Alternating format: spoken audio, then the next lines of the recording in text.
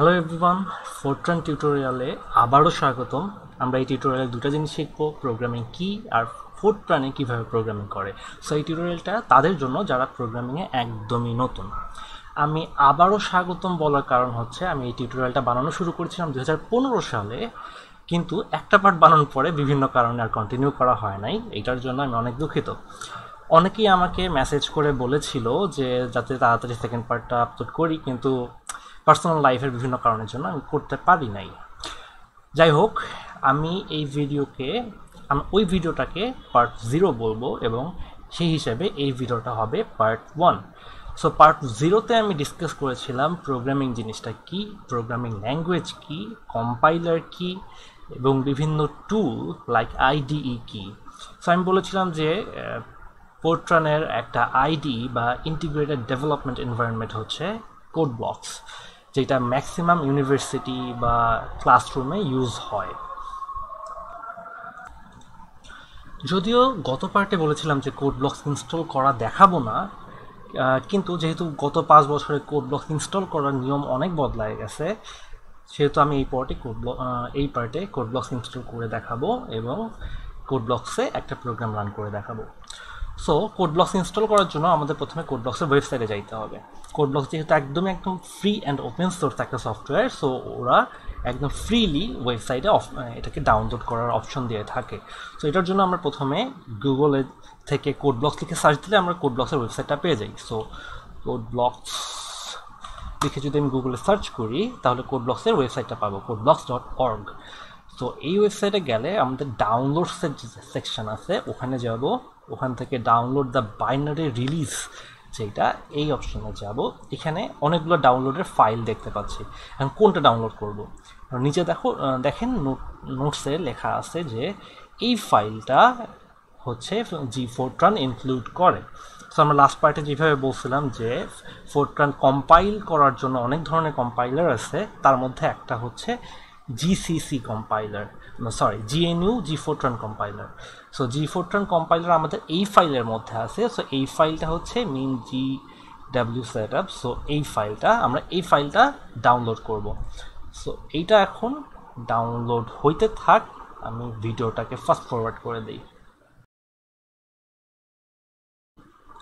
আমাদের download complete হয়ে গেছে। সো আমরা এখন ইনস্টলেশন ফাইলটা রান করব। এখন আমাদের ফোর কোড ব্লকস ইনস্টলেশন শুরু হইল। এখন সব ডিফল্টভাবে আমরা ইনস্টল করব। এখন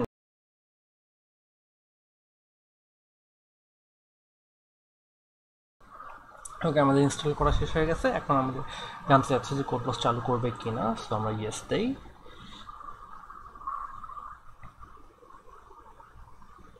ওকে এখন কোড ব্লক চালু করলে আমাদের প্রথমে এই জিনিসটা আসতেছে। সো এটা কি কম্পাইলার্স অটো ডিটেকশন সো আমরা কি বলছিলাম যে কোড ব্লক একটা আইডিই যেইটা একটা লেখা জায়গা দেবে, একটা এডিটার দেবে এবং যেইটা আমাদের কম্পাইলারটাকে হ্যান্ডেল করবে। সো আমাদের এটার মধ্যে কম্পাইলার যেটা ছিল, এখানে অটো ডিটেক্ট করে দেখাচ্ছে যে আমাদের পিসিতে কী কী কম্পাইলার আছে। সো এখানে সাধারণত আমাদের এখানে সিলেক্ট করার অপশন থাকে। আমরা যে জিসিসি কিন্তু জি ফোরটা আমরা এটা ক্লিক করে সেটা ডিফল্ট দিতে পারতাম। কিন্তু মাঝে মাঝে কোড ব্লকসের এই প্রবলেমটা হয় যেটা এখানে হচ্ছে যে আমাদের দেখাচ্ছে যে আমাদের এই কম্পাইলারটা নাই নট ফাউন্ড ইভেন আমাদের জিসিসি কম কী বলে সি এর কম্পাইলার কোনো কম্পাইলার পায় নাই দেখাচ্ছে সো আমাদের নর্মালি যদি এখানে পাইতো, তাহলে আমরা এই ফোরট্রান জিএনইউ ফোরট্রান কম্পাইলারে ক্লিক করতাম সেট অ্যাজ ডিফল্টে ক্লিক করতাম, আমাদের কাজ শেষ হয়ে যাইতো। কিন্তু আমি যেহেতু পাচ্ছে না, এই প্রবলেমটা মাঝে মাঝেই হয় সো আমি দেখাবো যে আসলে এই প্রবলেমটা হলে আমাদের কী করা উচিত। সো ওকে দিলাম। তাহলে আমাদের কোড ব্লকস ওপেন হইল। প্রথমে আমাদের এই জিনিসটা দেখাবে। সো এইটা কিছু একটা দিলেই হয়, ব্যাপার না। আমাদের হচ্ছে ফাইলগুলোটা সি ফাইলে ডাবল ক্লিক করলে আসলে কোড ব্লকসে চালু হবে কি না এটা জানতে চাচ্ছে। যেহেতু আমাদের, কি বলব, আমরা সি নিয়ে যেহেতু কাজ করতেছি না ফোটা নিয়ে কাজ করতেছি সো এটা আমাদের মাথা ব্যথা কিছু না। এটা ওকে করে দেই। ওকে সো আমাদের কোড ব্লক চালু হয়ে গেছে। আমাদের সেট আপ বন্ধ করে ফেলি। Next finish done okay so আমাদের প্রথম কাজ হচ্ছে আমাদের কম্পাইলারের যে খুঁজে পাচ্ছে না, এটা ফিক্স করা। এটার জন্য আমরা যাব সেটিংসে এখান থেকে কম্পাইলারে এখানে হচ্ছে আমাদের দেখা যাচ্ছে জিসিসি কম্পাইলার ডিফল্ট হিসেবে দেখাচ্ছে। সো আমরা এখানে ক্লিক করে, একদম নিচে দেখতে পাবো যে জিএনইউ ফোরট্রান কম্পাইলার এখানে ক্লিক করব সেট অ্যাজ ডিফল্ট দেব।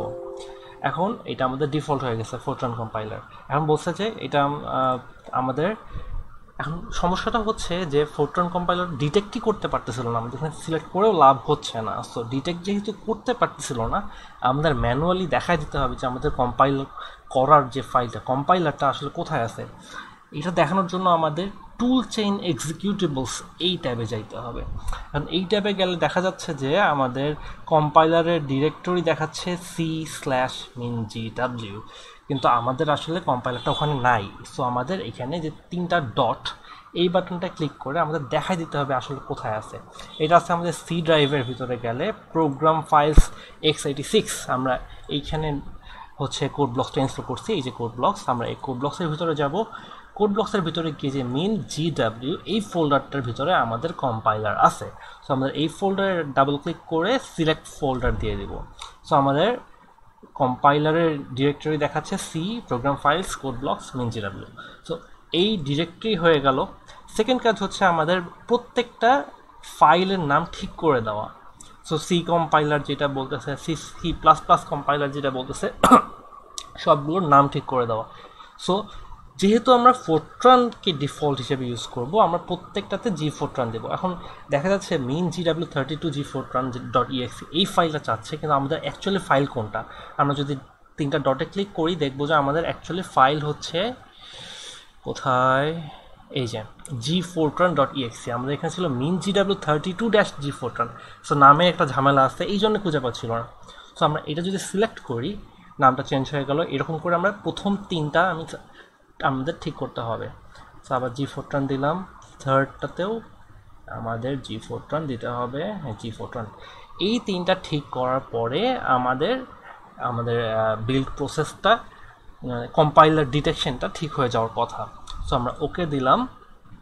তবু এখানে আমাদের বলতেছে যে can't find compiler executable in your configure search path blah blah blah so আমাদের এটা বলতেছে জিসিসি কম্পাইলার পাই না, কিন্তু আমরা জি ফোরট্রান সেট করে ফেলছি। সো এখন টেস্ট করে দেখি যে আমরা যে সেট করলাম কম্পাইলারটা এটা কাজ করতেছে কি না সো আমরা একটা নতুন ফাইল তৈরি করি, এটার জন্য ফাইল নিউ এমটি ফাইল এখানে ক্লিক করা যেই কথা, আমাদের এখানে শর্টকাট লেখা আছে কন্ট্রোল শিফট এন সো আমি ওইটা ইউজ করে অভ্যস্ত। So control shift N click করলাম, আমাদের একটা নতুন ফাইল তৈরি হলো।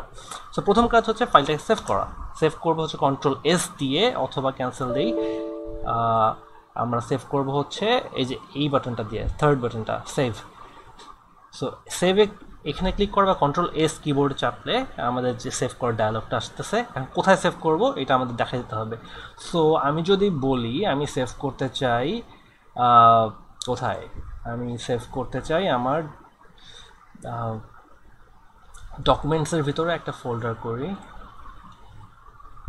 ফোর ফোরট্রান টিউটো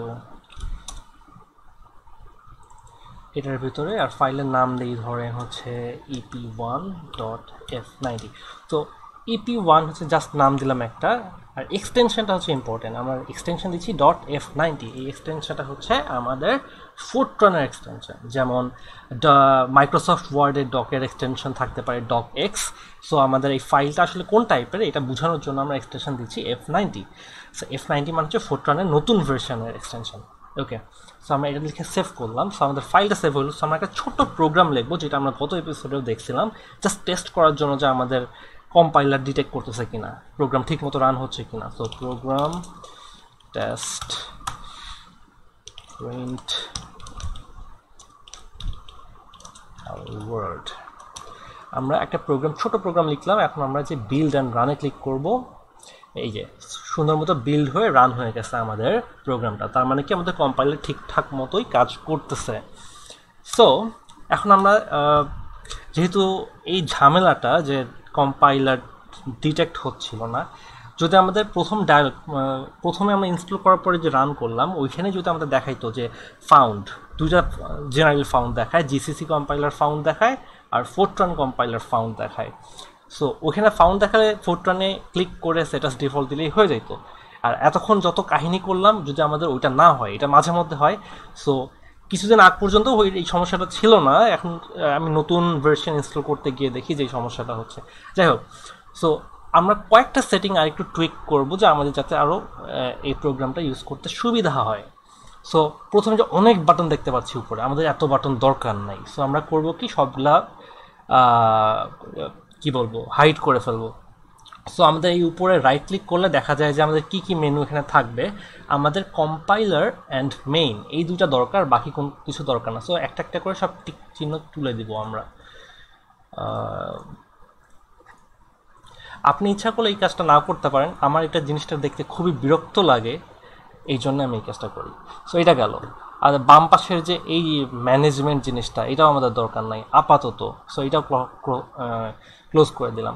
সো এগুলো ক্লোজ করলে ভয়ের কিছু নাই হারাই যাবে না। আমরা ইচ্ছা করে যে ভিউয়ে গিয়ে আমরা এই জিনিসগুলো আবার কি বলব, দেখাইতে পারব। সো ওগুলো সমস্যা না। সো এইটা গেল। নিচে এই জিনিসটা আমরা ক্রস করব না, এই জিনিসটা আমাদের দরকার। সো আমাদের আচ্ছা আরেকটা জিনিস দেখায় দেয় এই জিনিসটা যদি ভুলে ক্রস করে ফেলি, তাহলে কি করব? ক্রস করলাম, তাহলে আমরা ভিউয়ে যাব। আমরা লগসে ক্লিক করলে নিচেটা চলে আসবে। ওকে একইভাবে আমরা যদি ভিউ গিয়ে ম্যানেজারে ক্লিক করি, তাহলে ম্যানেজমেন্টের এটা চলে আসবে। সো আমাদের আরেকটা জিনিস করব, এই টিউটোরিয়ালের জন্য এত ছোট ফোন দেখতে কষ্ট হবে সো সরি ভুল জিনিস ই করছি এডিটর সেটিংসে গিয়ে এডিটরে ক্লিক করলে আমাদের এই এই লেখার জায়গাটার যত সেটিংস আছে, এগুলো ঠিক করতে পারব। তো আমরা একটু ফন্টটা চেঞ্জ করে নেব। সো আমার প্রিয় ফন্ট হচ্ছে সোর্স কোড প্রো ওইটা সিলেক্ট করি। আর জাস্ট এই টিউটোরিয়ালের সাথে যেহেতু লেখা অনেক ছোট, ভিডিওতে দেখতে কষ্ট হবে সো লেখাটা একটু বড় করব। সো টোয়েন্টি পয়েন্টস দিয়ে ওকে করি। ওকে সো আমাদের এইটুক ঠিক করলাম। আর একটা জিনিস এডিটরে ঠিক করতে চাই, সেটা হচ্ছে জাস্ট ফর ভিজুয়াল থিংস আমরা কি করতে চাই যে কয়েকটা জিনিস দেখাইতে চাই। এই যে শো ইন্ডেন্টেশন গাইড আচ্ছা এটা ছাড়া করলে কি হয়? আমরা যদি কিছু একটা লেখি, এটার মানে কি বোঝার দরকার নাই। আপাতত জাস্ট একটু দেখেন যে আমাদের ধরেন এটা একটা কোড। এখন এই কোডটা, এর ভিতরে অনেকগুলো লাইন এরকম থাকতে পারে।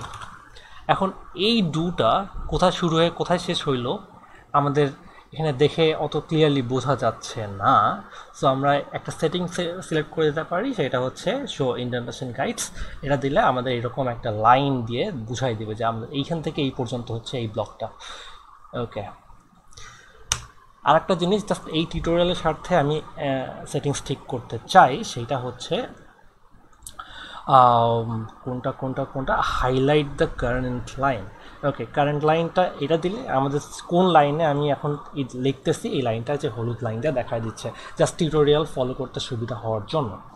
ওকে সো আমরা আমাদের কোড ব্লকস ইনস্টল করলাম। ইনস্টল করে এই একটা টেস্ট প্রোগ্রাম রান করলাম। এই টেস্ট প্রোগ্রামটা রান করে দেখলাম যে আমাদের আউটপুট এইটা আসে। এটা আমরা লাস্ট টিউটোরিয়ালেও এরকমই দেখছিলাম। সো আপনাদের আজকের এই এপিসোডটা দেখে প্রথম কাজ হচ্ছে কোড ব্লকস ইনস্টল করা। কোড ব্লকস ইনস্টল করতে কম্পাইলারের ঝামেলাগুলো যদি হয়, তাহলে এই ভিডিওর সাথে দেখে দেখে স্টেপ বাই স্টেপ ওই ঝামেলাগুলো ঠিক করা। আপনার যদি ইচ্ছা হয় ফন্ট টন্ট এই যে এই জিনিসগুলো হচ্ছে জাস্ট আমি এই টিউটোরিয়ালে যাতে সবাই দেখতে সুবিধা হয়, লেখা পড়তে সুবিধা হয়, এই জন্য আমি ফন্ট চেঞ্জ করলাম এবং এই লাইন হাইলাইট করার জন্য এই হলুদ লাইনটা দিলাম। সো এটা অতটা মেজর কিছু না, এটা আপনারা করলেও করতে পারেন, না করলেও করতে পারেন। সো এইটা করার পর আপনারা যেটা করবেন, এই টেস্ট প্রোগ্রামটা লিখবেন। সো গুগলে সার্চ করে অনেক প্রোগ্রামিং পাওয়া যায় কপি পেস্ট করে হচ্ছে করা যায়, কিন্তু আমি সবসময় যেটা সাজেস্ট করি আপনারা যে কোনো কিছু করতে আপনি গুগলেই সার্চ দেন বা যেখানেই করেন, ওটা দেখে দেখে নিজে নিজে টাইপ করবেন। নিজে নিজে টাইপ করলে যে জিনিসটা হয় টাইপ করতে একটু সময় লাগে। সো কপি পেস্ট করতে তো কোনো সময় লাগে না। টাইপ করতে যখন আপনি সময় নিচ্ছেন সো আপনার ব্রেন জিনিসটা প্রসেস করতে থাকে। সো আচ্ছা আমি এই জিনিসটা টাইপ করতেছি, এটা কেন করতেছি? একই কারণে কিন্তু আপনি ক্লাসে যখন নর্মাল ক্লাসে যখন লেকচার নোট খাতায় তুলেন, এটা খুবই একটা এফেক্টিভ জিনিস যে আপনি খাতায় যখন লিখবেন আপনি শুনতেছেন অনেক ফাস্ট কথা বলতে পারেন অনেক ফাস্ট কিন্তু লিখা অনেক স্লো হয়। লিখা যেহেতু স্লো হয় সো ব্রেইন জিনিসটা প্রসেস করতে থাকে যে আমি শর্টকাটে কীভাবে লিখতে পারি। এই জন্য এই প্রসেস করলে জিনিসটা মাথায় অনেক তাড়াতাড়ি ক্যাচ করে। এই জন্য আমি বলব যে যে কোনো প্রোগ্রাম আমি যদি এই টিউটোরিয়ালে দেখাই, তো সেম প্রোগ্রাম জাস্ট দেখে দেখে আপনি আপনার কোড ব্লকসে লিখে রান করে দেখবেন। সো এইটা একটা কাজ। সেকেন্ড কাজ হচ্ছে এক্সপেরিমেন্ট করা। আচ্ছা প্রোগ্রামটা যে এইভাবে লিখলাম, এইভাবে না লিখে আমি কি বলে, এটা বাদ দিয়ে লিখলে কি হইতো? এটা রান করি, দেখি কী হয়। এই যে একটা লাল বাতি আসলো নিজে কি লেখা আসলো? ইরোর কি ইরোর আসছে missing leading left parenthesis in format string মানে এক্সপেরিমেন্ট করা যে আমি এরকম করে না ওই রকম করলে কি সমস্যা হইতো? বা সমস্যা না হইলে আমাদের প্রোগ্রামটা কীভাবে কাজ করতো? সো আমরা ওখানে স্টারই বা কেন দিলাম? স্টার না দিয়ে যদি আমি একটা সংখ্যা দিতাম, তাইলে কি হইতো? রান করলাম। এখনও দেখাচ্ছে যে format level this is not defined so এই জিনিসটার মানে কি? এই যে এক্সপেরিমেন্ট করা, এইভাবে কিন্তু এটা হচ্ছে একটা ইফেক্টিভ লার্নিং স্ট্র্যাটেজি যে আপনি কোনো কিছু কেউ একজন বলতেছে, আমি একটা টিউটোরিয়ালে বলতেছি, আপনি এটা দেখতেছেন জাস্ট এবং ওটাই বিশ্বাস করতেছেন। এটা করা যাবে না। আমি বলতেছি you have to be skeptical আপনার এটা সন্দেহ করতে হবে যে এই ব্যাটা এই কথাই কেন বলল। সো আপনাকে এক্সপেরিমেন্ট করে দেখতে হবে যে ওইভাবে না করে অন্যভাবে করলে কি হইতো। এবং ওইভাবে না করে অন্যভাবে করলে যে সমস্যাগুলো হচ্ছে, যেমন এইখানে ইরোরটা দিচ্ছে, এটার মানে কি? সো এখন তো সব কিছু খুবই ইজিলি পাওয়া যায়। এই জিনিসটা ইরোর দিচ্ছে, এই জিনিসটা গুগলে সার্চ দেবেন, দেখবেন পাচ্ছেন কিনা। সো আজকের এই পার্টটা এই পর্যন্তই। সো আজকের পার্টটা আপনারা সবাই কোড ব্লক ইনস্টল করবেন, একটা টেস্ট প্রোগ্রাম রান করবেন। আমি যে টেস্ট প্রোগ্রামটা দেখাইছিলাম, এখানে স্টার ছিল, ওটাই আবার লিখি। এটা রান করার পরে দেখবেন যে আপনার প্রোগ্রাম ঠিকঠাক মতো চলতেছে কিনা। যদি চলে তো কংগ্রেচুলেশনস এটা আপনাদের জীবনে লেখা প্রথম প্রোগ্রাম ইন কেস আপনি যদি আগে কখনো প্রোগ্রাম লিখে না থাকেন, এটা একটা ফাংশনাল প্রোগ্রাম যে কোড ব্লকস একটা সফটওয়্যার গুগল ক্রোম একটা সফটওয়্যার এইরকম মতো আপনার এই ছোট তিন লাইনের লেখা কোডটাও একটা এরকম সফটওয়্যার সো এটা লিখবেন প্লাস কিছু এক্সপেরিমেন্ট করবেন। নেক্সট পার্টে আমরা দেখব যে ফোরট্রানে আরও আর কিছু কি কীভাবে করা যায়। ইভেন হচ্ছে আমরা এই প্রোগ্রামটা যে লিখলাম, এইটাই কেন লিখলাম, এইটাই কেন লিখলাম, আমরা নেক্সট পর্বগুলাই দেখব। সো আজকের মতো এখানেই। Thank you